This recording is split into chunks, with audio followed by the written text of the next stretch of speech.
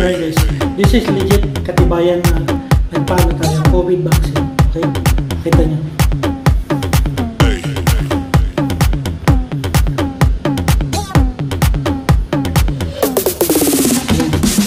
Pahalam ba, di ba?